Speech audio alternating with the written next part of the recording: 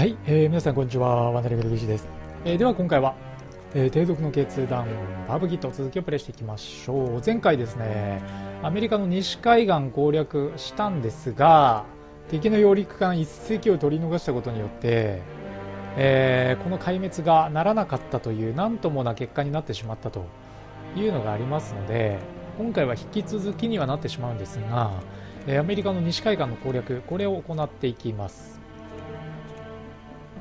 で兵器開発の方は前回最後にちらっと出たんですが、えっと、ライデンがね、開発可能になりましたので、ライデンの開発を行っておきましょ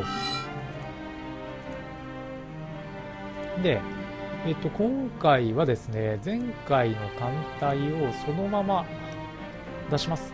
まあ、あの、傷ついている艦艇もいるんですが、もう敵の戦力は知れてるだろうというもとを、えー、一気に蹴りをつけます。でその他というところで言うとですねまずは新編成で前回空母が何隻かできてますんでこれ第6艦隊に編入してですねこの第6艦隊をそのままマラッカ海峡シンガポールですねここに派遣していきます。で今回の目玉それはズバリ前回航空機52型をベースに設計ができなかった直縁護衛偵察。これらを作っていきたいと思います。じゃあまずなんですがえっ、ー、と直縁ですね。空母の上空を守るまあ防空隊といったらいいんでしょうか。まあそういうものたちですね。えっ、ー、とここに関して言うと偵察能力とか必要なくて航続距離も長すぎる必要は全くないんですね。なので航続距離はむしろ短めの方がいいと思います。で代わりに空戦能力上げていきましょう。うわ。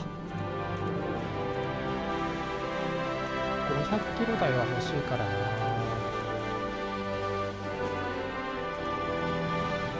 戦能力を C まで上げるとどう？ちょっと待って一度元に戻しましょう。空戦能力は C か。これが一番バランスが取れてんだろうな。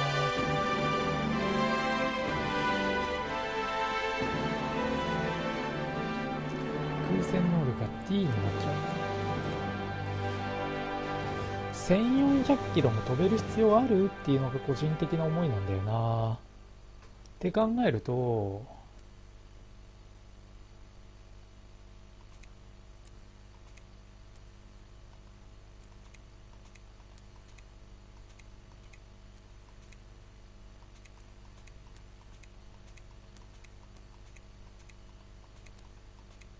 走行を65まで伸ばして、えー、っと、高速距離は1000にしましょう。で、武装がちょっと弱いかなって感じはするけど、まあ、しょうがないかな。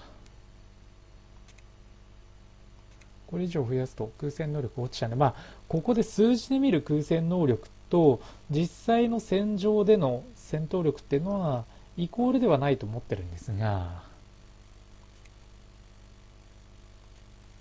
しょうがないね。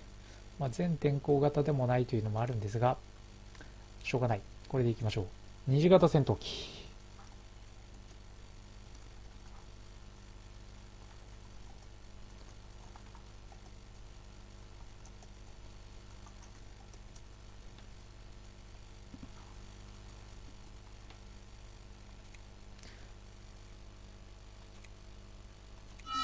で、続いて同じ冷戦の52型をベースに護衛機。これを設計していきましょう。で護衛機に関して言うと爆撃機と同じ3000の、えー、航続距離が欲しいのでまずは航続距離を3000まで合わせます。で、えー、最高速度とかがちょっとざるだけどしょうがないよね。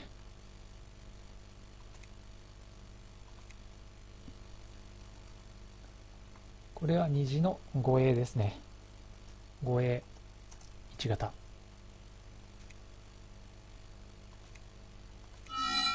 で最後にえっと偵察機なんですが偵察機はひたすらに足が長い方がいいので偵察機も作っていきます。何をベースにするかな？ちょっと微妙なとこだけど、まあ、ここは無難に冷戦の52型をベースにしますか。空戦能力とかはね、まあ、あまり高くある必要がないのでどっちかっていうと航続距離ですね。4000キロ。飛べて爆撃とかはまああまり必要ないので一旦置いておいて急降下も必要ないしえっ、ー、と偵察能力はレーダーは搭載済みでしょ？単座複座で言うと単座しか選べないので、まあちょっと偵察能力っていう意味では微妙だなちょっと他に偵察機、ベースになるものがないか確認する？ついて、まあ、この辺りをちょっと能力だけ見ると偵察能力がいいか。レーダーは搭載してないけど、複座にしてるから、っていうことだよね。いや、ここはね、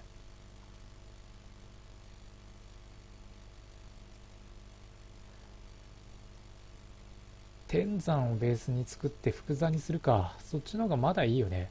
空戦能力は置いておいて、まず飛ぶ距離だよね。2800キロ。ちょっと微妙だな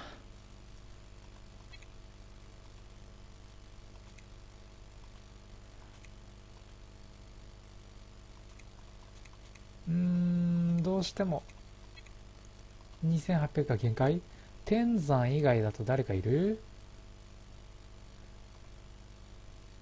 それこそ水星をベースに作ればいいんじゃないの？護衛機は。ああ、偵察機か。そうか、偵察機だから2800。いやー、偵察機もやっぱり距離欲しいんで、お、5600飛べるじゃん。これで決定だよ。むしろ。まあ、走行もこのままでいいでしょう。で、空戦能力は置いといて、偵察能力も高いと。いいね。これめちゃくちゃいいじゃん。爆撃能力は500キロで急降下も可能すごい優秀なのができたぞ。ちょっとむしろさ、これを爆撃機にした方がよくない？って思っちゃうね。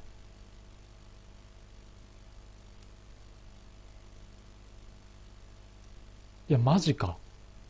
なんでこれに気づかなかったんだ？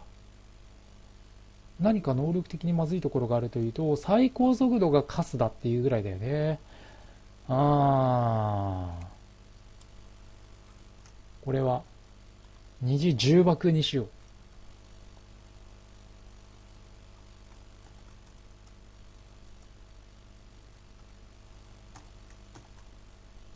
ちなみにあの、この虹ってつけてる理由はですね、あの、ツイッターとか見てもらえればと思うんですけどね、大好きなんですよ。虹が。虹重爆撃の1型。これにしましょう。で、これを偵察機も兼ねるということでいいかな。まあ、せっかくなんで偵察機は足が速い方がいいかな。なんで、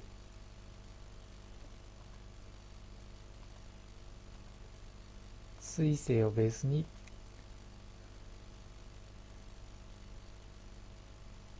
爆撃能力はなくしていいので最高速度もこのままでいいので5800キロ飛べるというこの偵察機。これでいきましょう。いやこれで航空戦力がだいぶしばらく戦えるものになったんじゃないかな。ちなみに虹1よりも僕は虹2が好きですね。まあ、何、何のこっちゃいっていう人も当然いると思うんですけど、まあ、ちょっとね、あの、ツイッターの方を覗いていただければと思います。で、えっ、ー、と、航空機の開発は一旦これで終わりにして、余ったもので、えー、作っていきたいんですが、一旦、やっぱり今、開発中の偵察機なり、攻撃機なり、飛行機なりっていうのを取っておきたいんで、資源をね、そのために。一旦今回は生産系は見送りましょう。でハワイには今いる戦力を使って西海岸の攻撃に入りたいのでじゃあこのまま西海岸の再攻撃に入ります。お敵は撤退したね。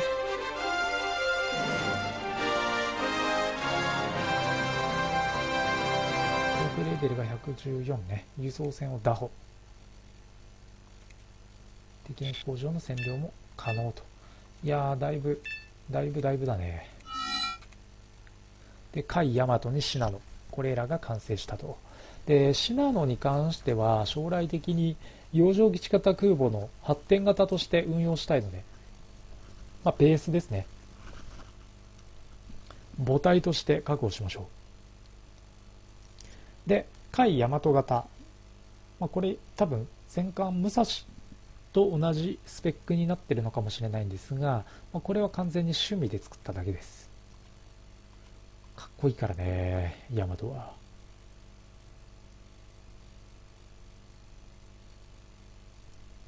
まあ、手法は46センチ。で、えー、信濃型の正規空母、これ装甲空母ですね。47機しか搭載できない代わりに、えー、装甲が施されている空母ですね。まあ、日本海軍の空母は至って敵の攻撃に弱かったと言われてるんですけど、この信濃型の正規空母であれば、敵の攻撃も跳ね返せると。まあ、あのー、今、僕が進めている 超大型空母プロジェクトとは真逆に言ってますけどね。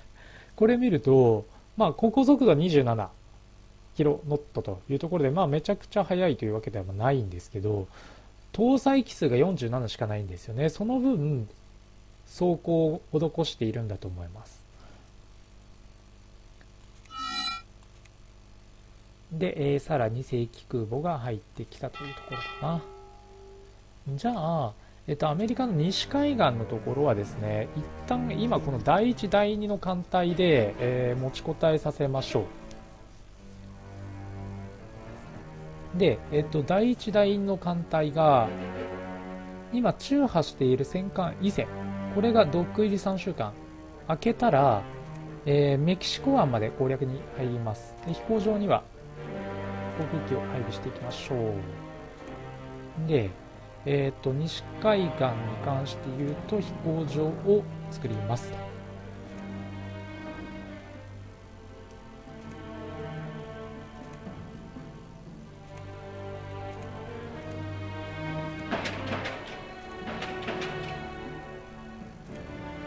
万万が一っていう場合に備えて飛行場には航空機を増強します。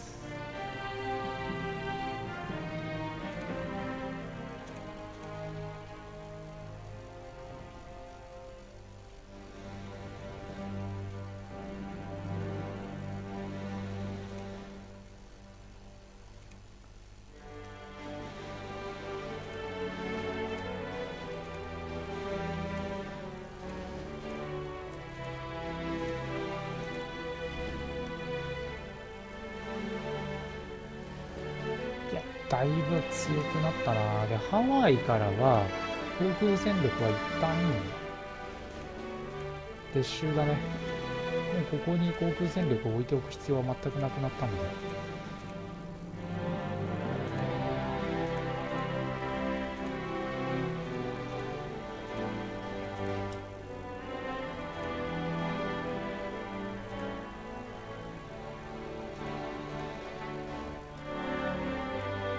ハワイの分をその分ロサンゼルス。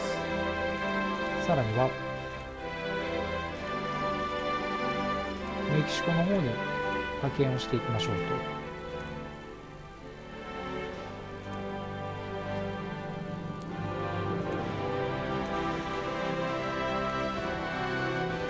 一応あの今後の旅行の予定っていう意味で言うとですね9月の頭に、え、上海の方に遊びにいきますと。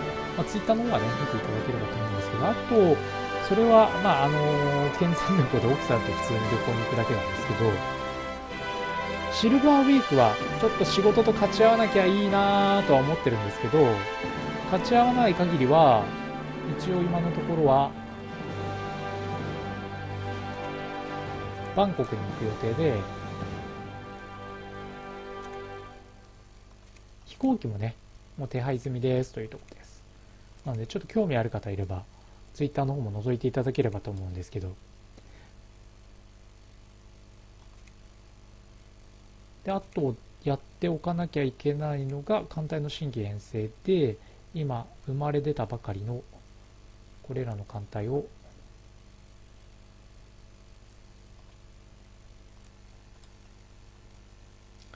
第13艦隊としてこの第13艦隊をマラカイ。次の攻略目標はインド洋ですね。こちらの艦隊は。で、えー、アメリカ西海岸のさっきお話した通り一旦艦隊を休ませてドック入り明けにメキシコ湾を取るという流れです。では時間を進めます。正規空母がさらに完成と。だいぶ戦力整ってきたね。兵器開発新兵器は航空対空レーダー。これ開発しちゃいましょう。で技術開発はお金に余裕は出てきてるので厚めに入れていきます。で物資援助は、えー、鉄をじゃあ今回は上げましょうというところかな。で、えー、とあとは航空機艦船は空母の護衛艦を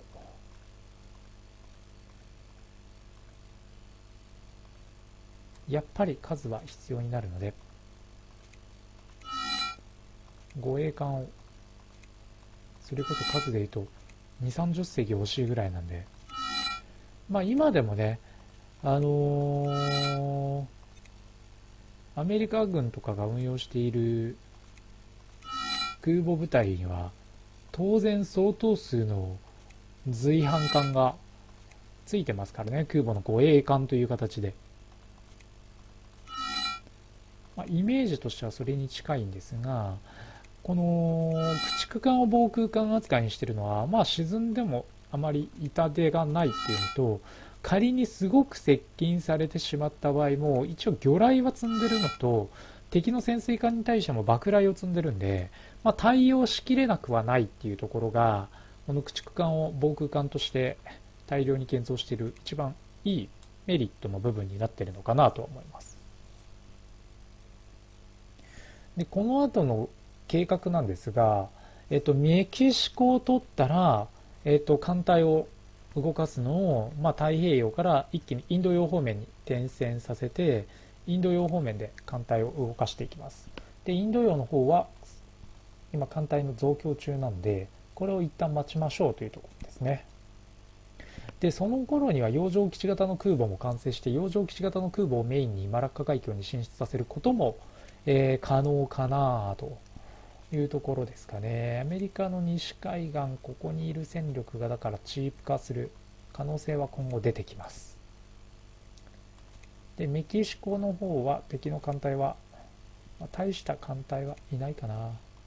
で、基地戦力も大したことない。その割に、やっぱり旨味が大きいのが、資源だね。ペルーの方は鉄とお金。で、カリブ海の方はそれなりだなでメキシコ湾はお金が取れるけど、まあ、メキシコの西海岸までは取っちゃえばアメリカ軍としてもだいぶ動きがね、えー、鈍くなるんじゃないかなとは思います。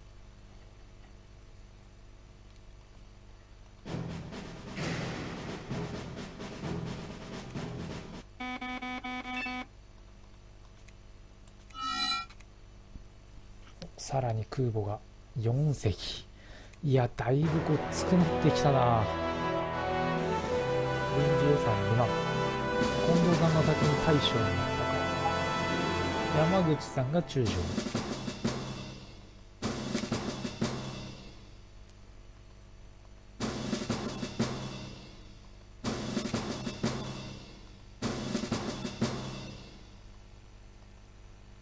さあ次の目標は？メキシコだね。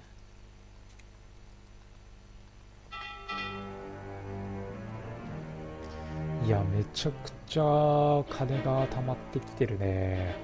嬉しいな。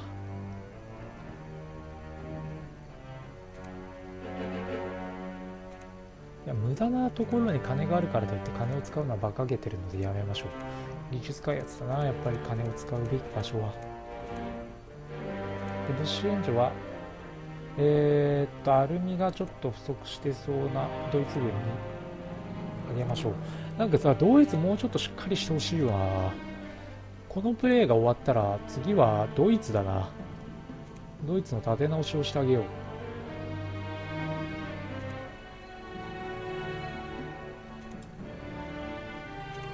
そしたら今回も護衛艦を何隻か作っていきましょう。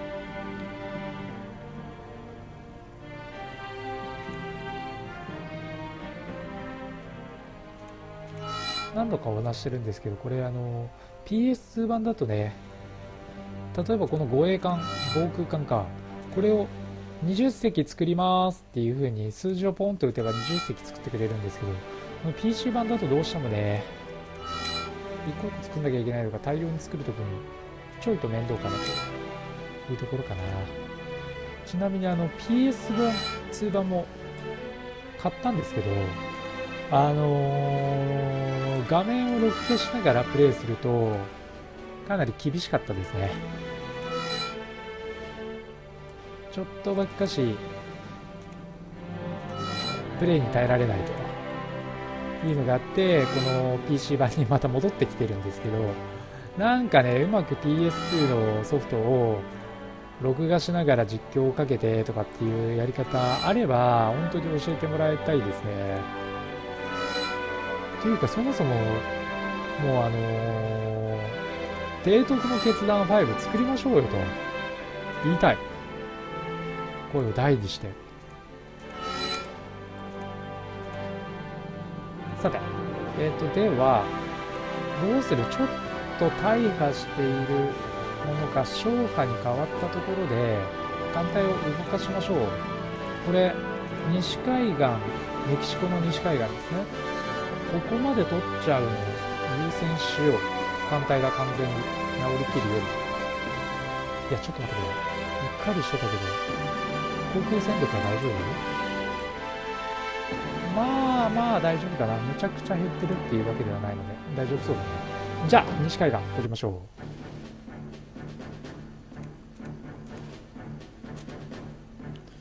う。敵は第6艦隊だけだね。その第6艦隊の中身は、10順が1隻、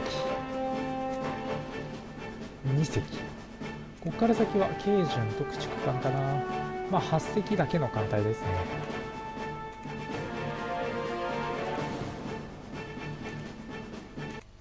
だいぶ了解。了解。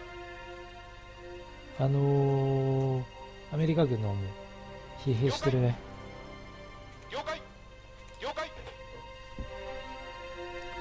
まあ、まずは敵の艦隊戦力。これがどこにいるかっていうのを確実に見極めた上で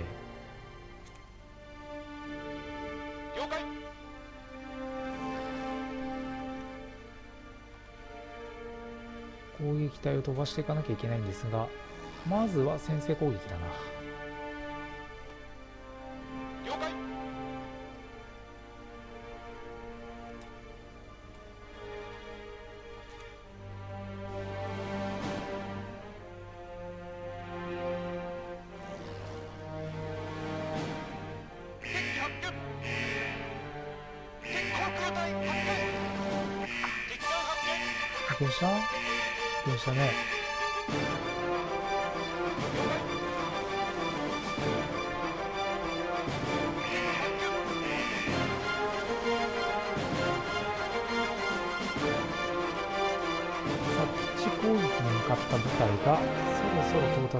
い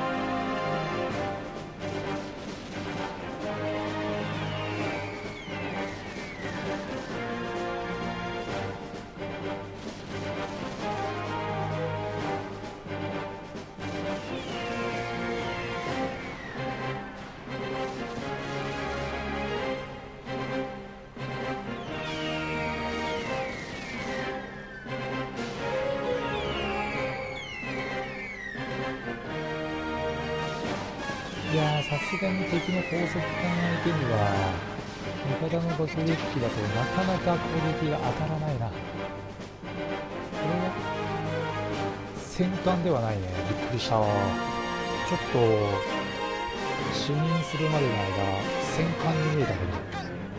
駆逐艦だね。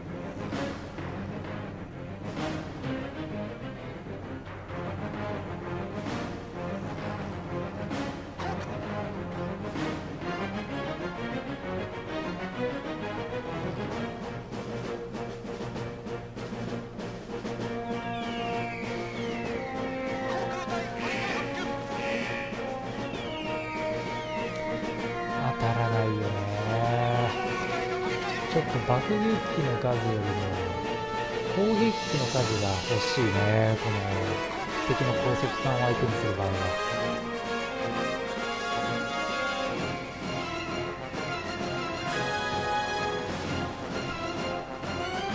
どうしても足が速い敵の部隊には。爆撃機は相性が悪い。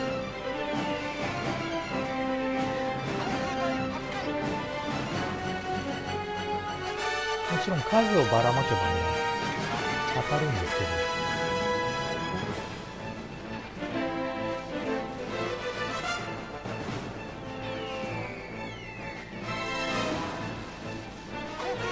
ちなみにあの僕アクションゲームとかはもうほとんどやらないんですよ。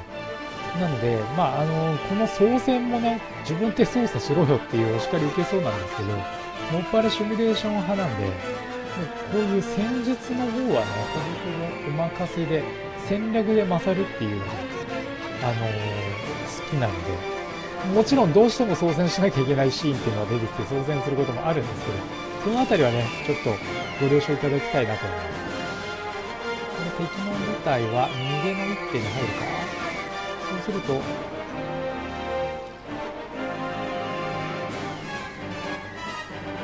基地攻撃の方に切り替えよう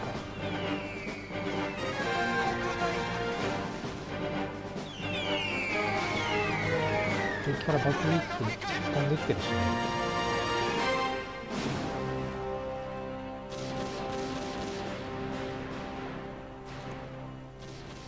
破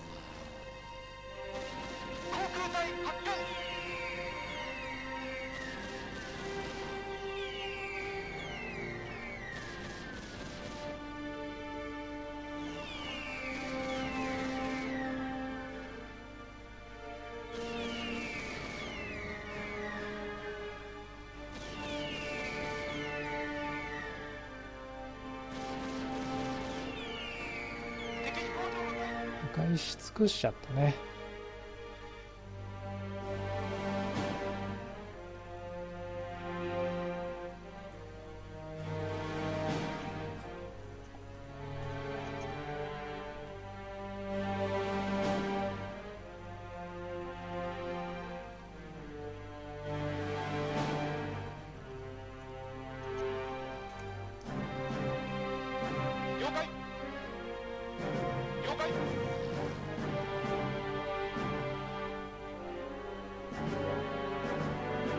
夜のうちにそしたら飛行場の一つは潰しちゃいましょう。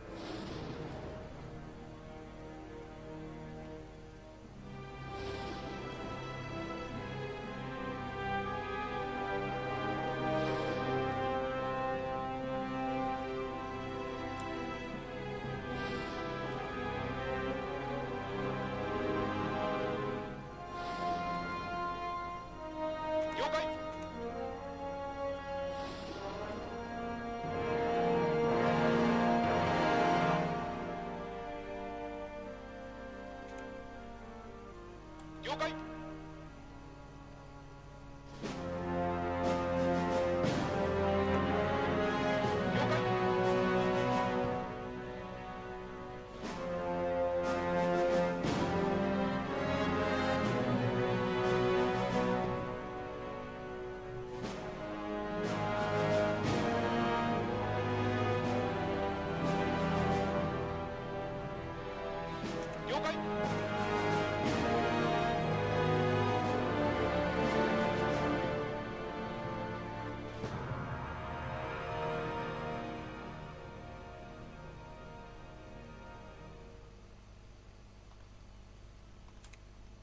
了解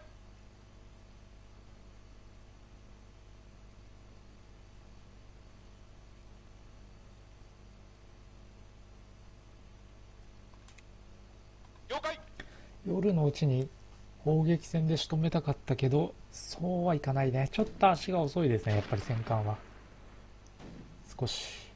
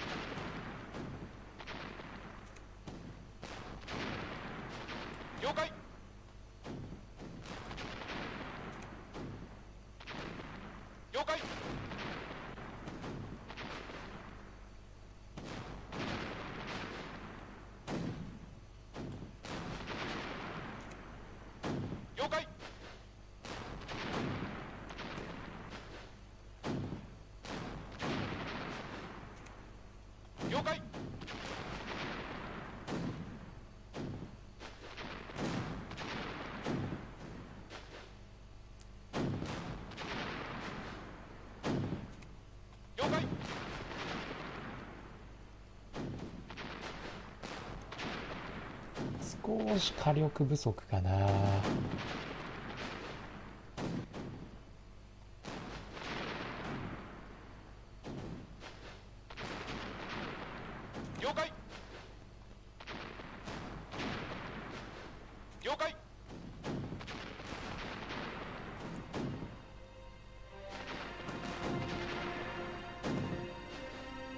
飛行場1個は確保したいんですよね。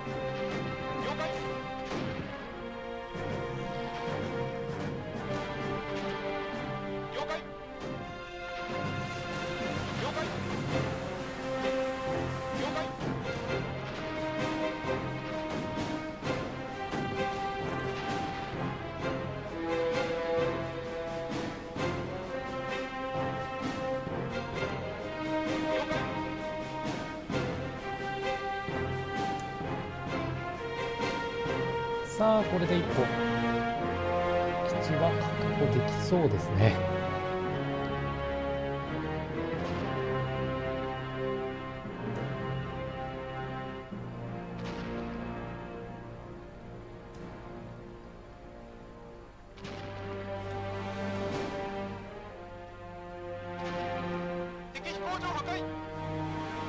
よし、破壊したね。じゃあ、あとは、雨が止むのを待って、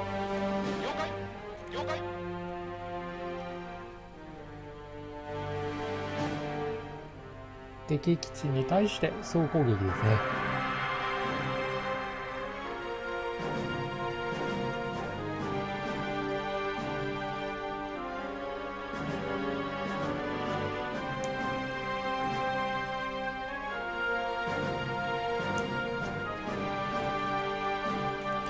ああ、空母が一隻傷ついてはいるね。ちょっと理由はわからないけど。近藤さんが大将になったからな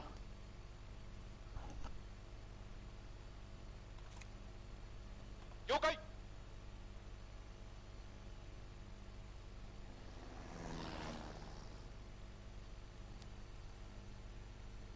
さあ正規空母8隻から爆撃機を飛ばしてハワイの息の根を止めます。うん。メキシコ西海岸の息の根を止めます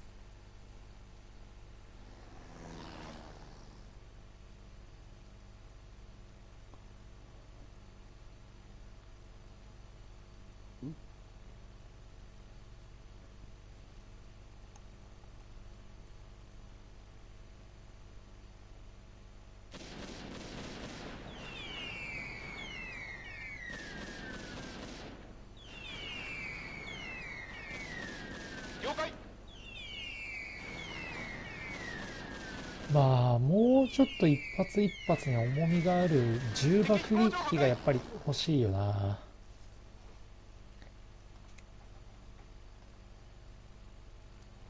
えー味方は一応撃沈はないですね。まああの戦艦空母、えー駆逐艦に揚陸艦にダメージが出ましたけどまあはっきり言って損害ゼロに近い干渉ですね。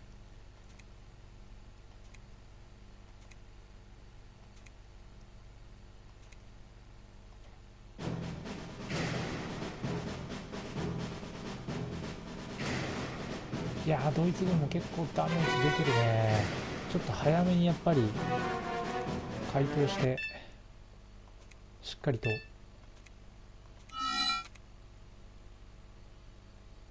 ドイツの支援に当たってあげたい。そして洋上基地型空母。ようやく完成。これから生産が可能ですね。で駆逐艦まあ防空艦かな。えー中型のディーゼル機関。国用レーダーに新素材。いいね。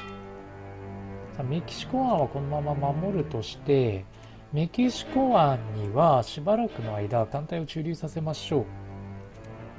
でダメージの出たえっ、とこの第2艦隊だけ一度西海岸に撤退させます。まあ撤退っていうか回復させてまた戻ってきてもらいますがで、えっと、メキシコ湾がその間しばらく最前線になるのでメキシコ湾にね、えー飛行場を立てていきましょう。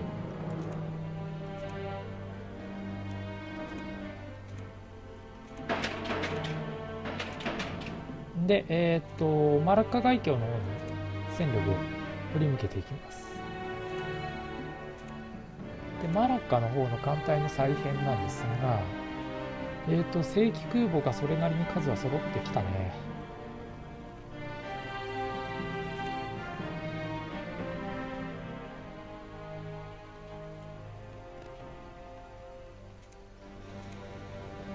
そうすると、まず第3艦隊の方に第7艦隊と合わせちゃいましょう。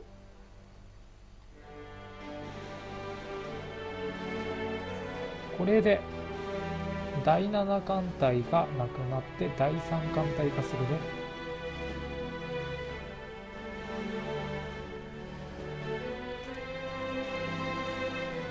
で第4艦隊いやちょっと待ってね。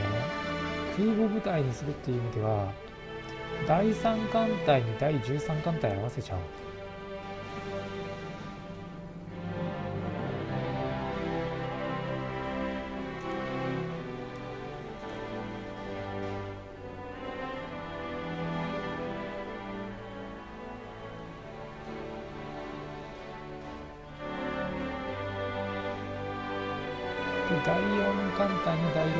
13を合わせる？第4艦隊第6艦隊にも空母あるんだよね。となると第4艦隊と第6艦隊を合わせちゃうっていうよりかは第4艦隊を空母部隊にするっていう方がまあいいかな。で戦艦は戦艦で運用しよう。砲撃戦メインでね。これでどうでしょう？で第6と第13を合わせちゃって第13艦隊を空きにしちゃえば一応見た目上は整いますね。ねずっちじゃない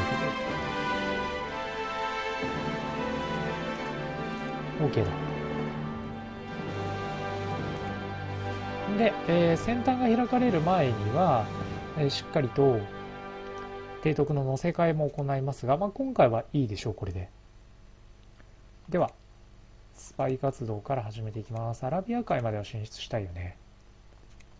であと兵器開発でいうと新兵器この辺りは全部金を湯水のごとく使っていきましょう。技術開発はちょっと今回緩めに入れさせていただきます。で物資援助は鉄をじゃあ5000これでドイツの戦力が持ってくれれば安いもんです。でえっ、とまずは洋上基地型の空母これを作っていきましょう。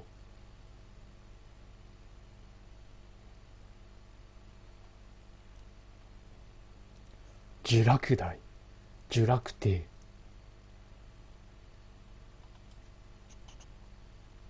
洋上洋上基地空母洋上基地空母1って入れられないんだよね。12文字までだから。洋上基地。うーんどうする？洋上基地空母。まあ洋上基地空母でいいか。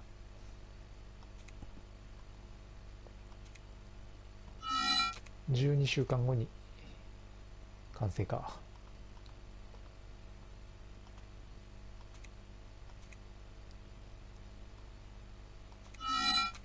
洋上基地空母数的にはどうだ？4隻ほど作るか。本当はもっと数あってもいいかなと思うけど。